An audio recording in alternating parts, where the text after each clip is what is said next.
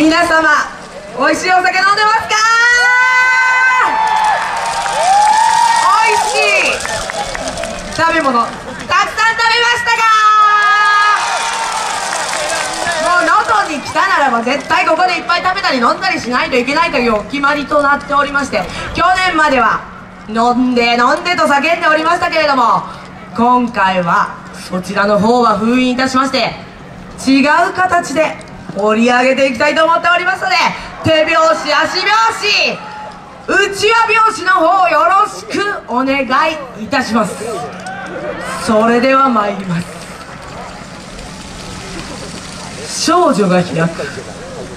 この本の中一体何が現れてくるのでしょうか。月光朝日そうが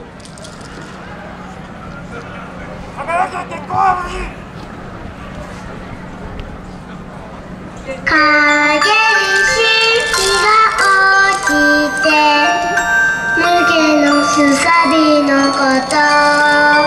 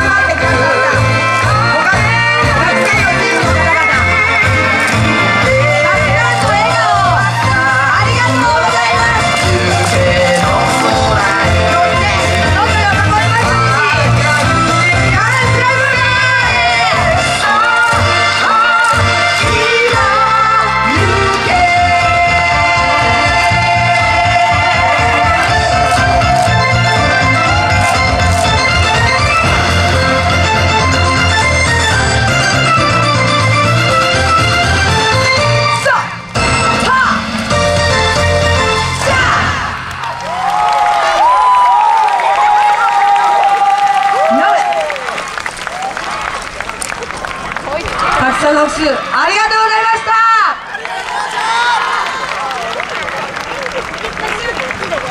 た。